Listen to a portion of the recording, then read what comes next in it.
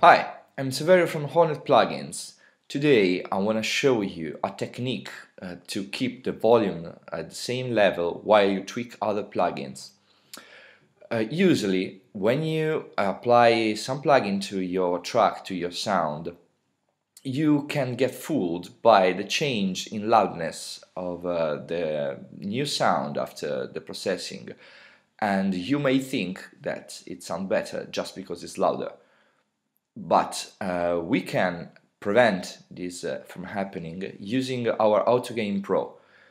With this plugin, you can keep the sound at always at the same level, uh, even when you tweak plugins that comes before it. Uh, I'll show you a quick example. We have a drum loop here that sounds like this. Okay, we want to tweak it and we'll use our SW34EQ. The first thing I'm going to do is to gain stage it correctly so it peaks at around 0 dB.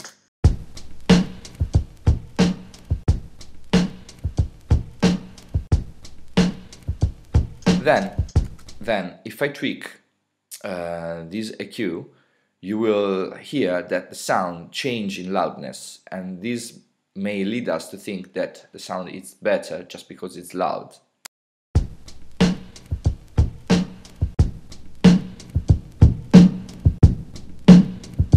As you can see the peak has reached plus 3 and it's peaking red on the master bus.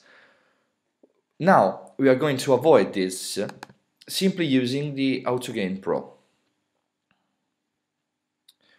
We'll put it on the track and uh, we'll set it so that the gain stays at around 0 dB while no processing is applied. So we'll set the reference to internal, the gate down to minus 60 dB, processor in RMS mode. We won't touch anything here and we'll, we'll link both attack and release time and set them at around 500 milliseconds. Okay, so now with the track playing, we'll adjust the internal gain level so that the orange arrow here stays at around 0 dB.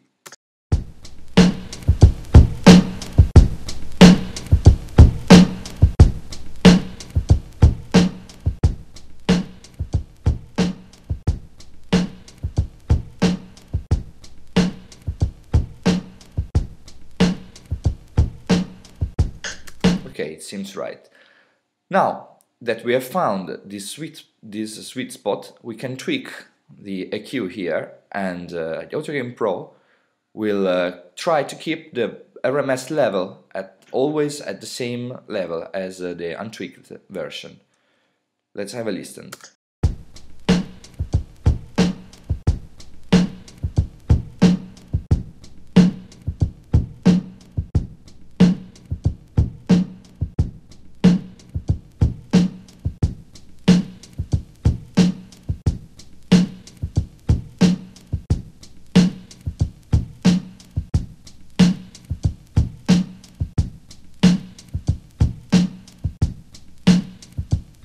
Now, bypassing the EQ, we should feel we should uh, feel that the level is actually the same.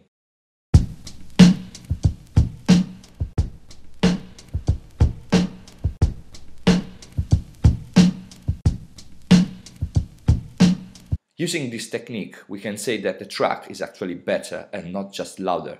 So, this um, technique can be used, can be made using the AutoGain Pro or the old standard AutoGain using an external fixed reference, such as a, a white noise or uh, any other DC offset that you can apply to its reference input. Both plugins are available on hornetplugins.com. You can go there, download the demo, try them out, and let us know what you think about it. Thank you very much for watching.